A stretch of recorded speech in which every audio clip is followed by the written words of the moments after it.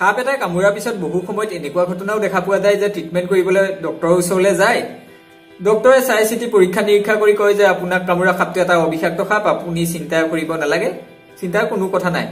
কিন্তু ইয়াৰ পিছতো বহুতে ডক্টৰৰ কথা বিশ্বাস নকৰি বেজৰ ওচৰলৈ পেচেণ্টজনক লৈ যায় ৰোগীজনক লৈ যায় আৰু বেজেও জৰা ফুকাৰ নামত নানা ধৰণৰ নটংকী নমুনা দেখুৱাই এটা মোটা অংকৰ ধন ৰোগীজনৰ পৰা লুটি দিয়ে।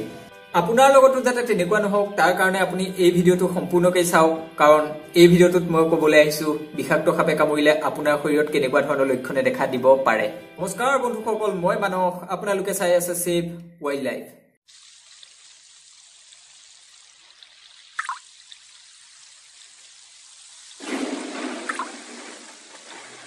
সেয়ে দেৰি নকৰি আৰম্ভ কৰোঁ আহক বিষাক্ত সাপে কামুৰিলে শৰীৰত দেখা দিয়া লক্ষণসমূহৰ বিষয়ে।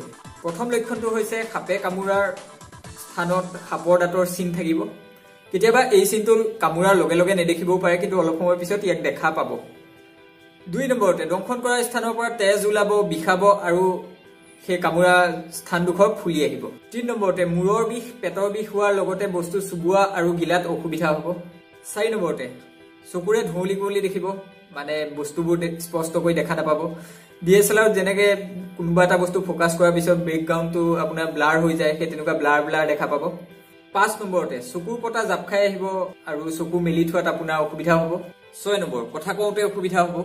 সাত নম্বৰতে দাঁতৰ আলুৰ পৰা তেজ ওলাই থাকিব। আঠ নম্বৰতে পেচাব মুগা বৰণীয়া বা হালধীয়া ৰঙৰ হ'ব। ন নম্বৰতে আপোনাৰ খোজবোৰ থৰক বৰক হোৱাৰ লগতে আপোনাৰ মূৰ ঘূৰণিও হ'ব পাৰে। বন্ধুসকল এই নটাই আছিলে বিষাক্ত সাপ এটাই কামুৰিলে আমাৰ শৰীৰত দেখা দিয়া লক্ষণ।